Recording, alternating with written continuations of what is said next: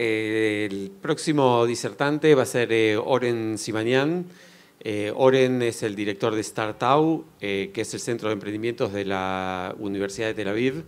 y además tiene una actividad secundaria por la cual recibe muchos insultos, que ella seguramente les va a contar acerca de ellos. Oren.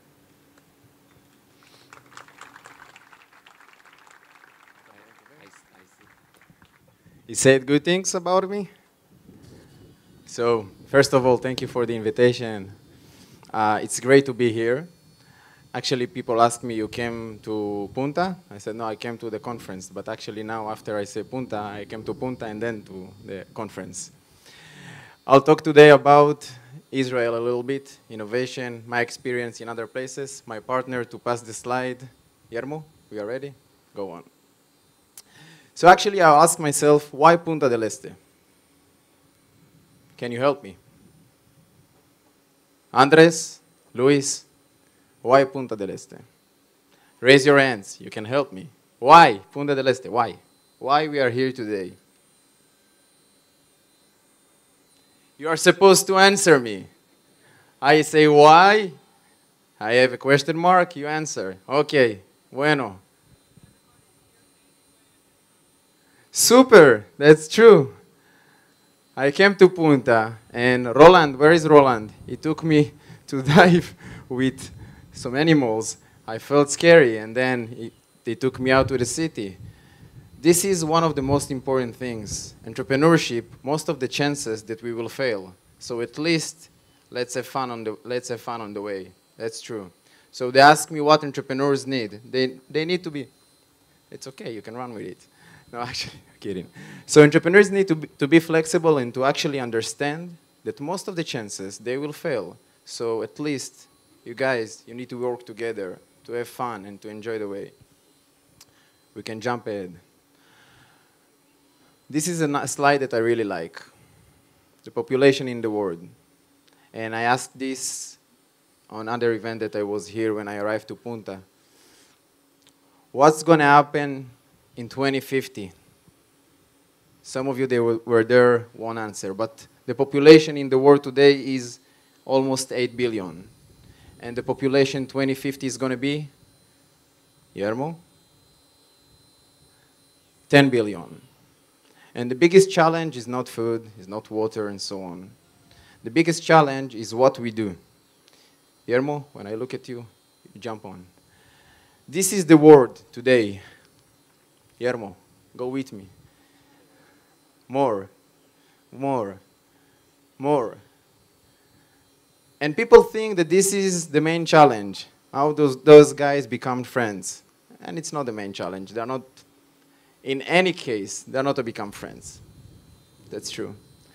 This is the main challenge. Okay?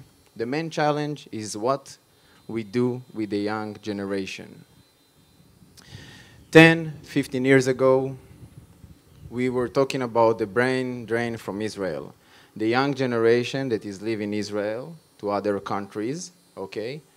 Why? There are three main engines that are running the ecosystem. Is to see the role models, people that are doing well, and to say, I want to be like them.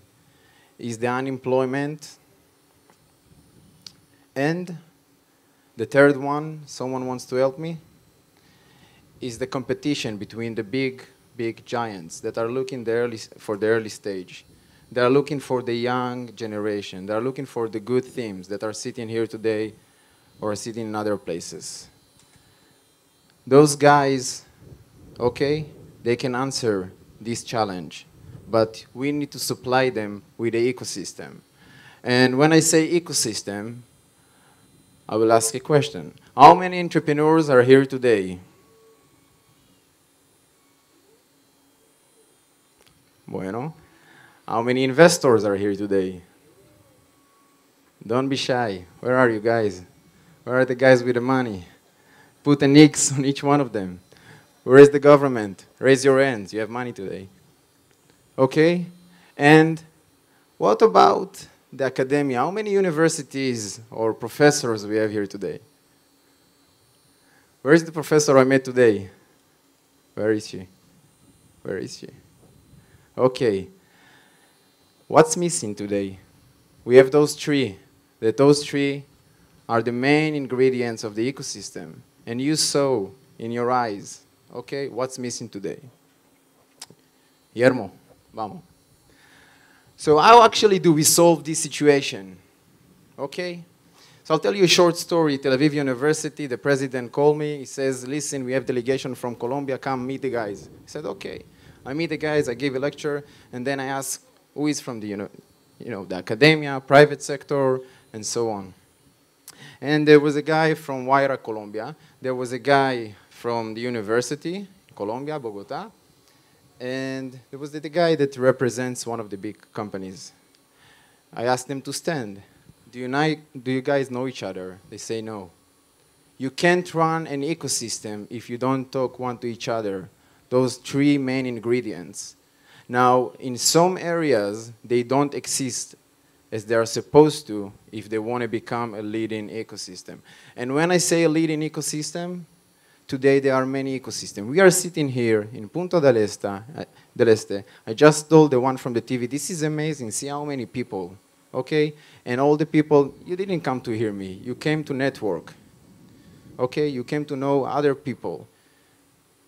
But in many other locations around the world, people are sitting and doing the same, okay? So of course we need those three, but on top of them, we have to build our own unique selling proposition. What's unique here? Luis, what's unique in Chile? So Luis is going to launch, can I tell? Luis is going to, okay, tell it. This is promotion for Luis. But Luis is going to launch a program that is based on the USPs in Chile, okay? Luis, raise your hand. Hey, okay? So on top of that, we need to understand, we build ecosystem somewhere, okay? What's unique there? So people ask me, okay, so what's unique in Israel? What's unique in Israel that we have desert, okay? We have our friends on the right and the sea on the other side, okay? And the third thing that we have, or we don't have, is water. We don't have water. So as a good friend of Pablo said once, necessity is mother of all invention. Okay? So what you actually have is in Israel is that you don't have. Entrepreneurs are coming and they're saying, yes, we have a good team and we are doing amazing and the app is going well. We just need the money. Going back, the engines of entrepreneurship, they are looking for the young generation everywhere. Okay? Wayra, it's not because they want to have Wayra. Wayra is here today. Okay? It's not because they want to have Wayra or Microsoft Innovation Center. Sorry for doing promotion. I'm just giving examples. They are there because they understand since 2008, okay, the young generation is leading the next steps. And if the investors here want to understand that they need to dig at the earliest stage okay? Starting from the universities, working not only with the research institutes, and I'll talk about it, but with the talent there. So, I always use this one. This is the necessity. This is Israel 70 years ago. Yermo, this is Israel today. And I put the logo of Tel Aviv University, and this is promotion. And jumping ahead. Triple helix. Take a look Google it, triple helix, it's a known model. This model fits also entrepreneurship. I created the model, it's not mine, it's Henry Etzkowitz one, but I created the same thing based on entrepreneurship. And then I met in Kazakhstan Henry Etzkowitz in a conference. And I told him, you know, that I'm using your model without knowing that I'm using it for entrepreneurship. You have to have the government support, which is here today announced. You have to have strong private sector that will adapt innovation. And you have to have strong universities that will create ch two channels. One is the research, and one is the talent. Take care of this talent. The wish is to create a platform that will allow the young generation not only think how I will be able to work for the big corporates or how I will be able to work for the government, but how I will gain this toolbox to start my own initiative. Yarmo, mistake. So, four main activities at the university. Tech transfer office. Tech Transfer Office Tel Aviv University is producing approximately 600 patents families, which is a lot. We still have a long way to go from the research to commercialization. Not only Tel Aviv University, worldwide. But this is a must. And Ramot, Yissum, T3 are the tech transfer offices at Tel Aviv University and other universities in Israel. Hands-on innovation. Hands-on innovation is, means that you take the talent and you connect this talent to the industry. You teach them from scratch, from day one, that they need to be connected. You, you, throw, you take them and you throw them into the water.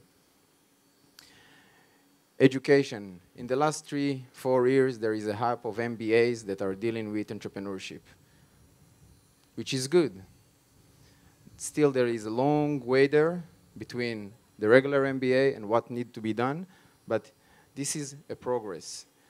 And internationalization. So people ask, what's unique in Israel? So we say, okay, good universities, okay, private sector, support from the government, but Israel is a multinational, multi, multinational country in sense of multilingual and multicultural. I always say that my regions is that my father arrived from Iran, my mother from Libya, and people looking at me, what? Yes, and this is Israel. It's a mix. This is an experiment. And as I say always, in my case, this experiment did didn't go well, but actually, actually, this what creates the motivation to think and to adopt other things, thoughts, other people thoughts and say, no, it's not going to work. Yermo. When I say education, universities, so the population in the world is almost 8 billion. The population in Israel is 8 million. And Tel Aviv University is ranked at the top 10 worldwide that their graduates are able to raise money and establish successful startup, raise money from VCs. It's a list that includes Stanford and so all the big names in the world. And how do you achieve that? It's not that today the government launch a program and tomorrow we all succeed. It takes time and people are going to fail. Personally, I'm working with the Arab community in Israel. I manage the accelerator in the north, in Nazareth. So it's an accelerator that deals with transportation and tourism. There is a lot of tourism in Nazareth. And I meet Fadi, the manager of the accelerator, and he says, yes, Oren, but what's next? We gave them money, they did well, we had great teams. No next. Maybe they will all fail. You don't have to have next. It's not about creating the product. It's about creating the people everywhere. It's about education. The results won't come tomorrow. It takes years. And I'm not talking about web and mobile. We're talking about deep companies. And of course, that the easiest way is to penetrate to those channels of instant. But it takes years, and you need to be flexible and patient and lead this young generation with confidence. And when once they fail, you have to support them. And you have to support the one that on top to support the managers of those small micro VCs that invest and to understand this is a process. Going ahead. So the private sector, there is a chain in Israel. So the government is involved. There is the incubator model that I won't talk about, but supportive, supports the, the entrepreneurs, and there, there, are many other supportive programs.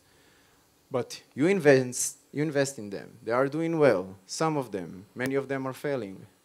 Then they are becoming mentors. They educate the next ones. The issue is that you have to create this chain and by name call it. Like what I did in Tel Aviv University is that I didn't create all the startups that went out of Tel Aviv University, but I put a name, I put a roof and I said, now it's going to be branded, okay? And the brand is very important. PuntaTech is very important because there is a brand. Otherwise, no one is going to be here today. People are developing, people are doing research everywhere, but just give them the platform and brand it. The private sector is very involved in Israel. It's involved out of the reason, Yermo, out of the reason that those two guys that established a startup company, which is named Gift Project, which was acquired by uh, eBay. And this is the second startup the eBay bought in Israel. The first one was shopping.com. They understood, okay, those two guys with their una página, with their risk taking, they got the risk, they got their they got the motivation to establish a company and they did well. So we understand that there is a talent there. We understand that it's worth being there. So we are going to open an R&D center in Israel. Yes, there are chances they're, they're going to leave Israel after they acquire the company. But we insist, as people that are leading the ecosystem, that companies that want and acquire, acquire companies in Israel, startups and so on, they have to think what's the future, where we are leading our ecosystem. So out of those, those two startups, we have R&D center, not only eBay, but many others, Apple, Facebook, and so on, out of this methodology of meeting this talent. So people need to know that the talent exists in other places. Next. And of course, we said academia, private sector, and government. There are several programs, and Oren is here today, Oren, which is, was a manager and CEO of an incubator in Israel and is involved with those kind of things. There are several programs that the Israeli government offers to the entrepreneurial ecosystem. But the most important thing to understand is Israel is one of the highest spenders on R&D as part of the GDP. We understand that there isn't any other option. If you remember the picture of the old guys that came to Israel, they didn't have any other option. So we understand that no natural resources, now they find some gas in, in, in the sea or something like that, so we are worried. But no other option but creating, no other option, jumping. This is a case study by Tel Aviv University. You are all using the flash memory sticks so there is a professor called Simon Litsyn. Remember this name. Simon Litsyn and Dov Moran. How much time do I have? He said five, you said zero, so it's 10 or 50. Simon Litsyn and Dov Moran, they've met. Dov Moran is the entrepreneur. Simon Litsyn, the researcher, Tel Aviv University. They developed together the product at M, System that was acquired. The company was acquired by SanDisk in 2006 for $1.6 billion. That's a nice story. Later on, Dov Moran, the entrepreneur, tried to establish other companies. Sometimes he failed, some, some of them he did well. And Simon Litsyn, the guy, came with an idea a year ago, which is a good friend of mine. He came with a nice idea. He was sitting in the office, reading an article, and said something about charging phones and so on. And he said, how come I wait so much time to charge my phone? And they established, I assume some of you have heard about it, the nano battery. The company is called StoreDot, which you are able to charge your phone in 30 seconds. That's disruptive. That's innovation. And it's based on deep technology and a lot of experience. And I'm telling this story, Yermo, jump over one more. I'm telling this story, one more, Yermo, because of this slide. Of course, that if it ain't broke, don't fix it, okay? You don't have to create disruptive technologies. Innovation is not only about creating the technology, it's about integration, taking A, B, and C and making them work together. Okay? Not all of us are sitting in the labs and developing StoreDot or M systems but we can integrate. We can take amazing technology that comes out of the university and other places, based here or based there, doesn't really matter, supported by the government or other channels, integrate them and move ahead. Integration, it's innovation, not only disruptive technologies. Next.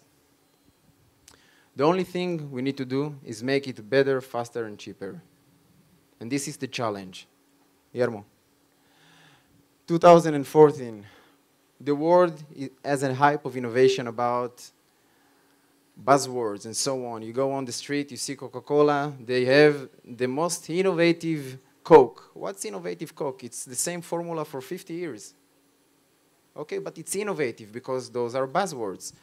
So there is a lot of people that are researching, government and so on. What's going to be next? Tuta, go back here.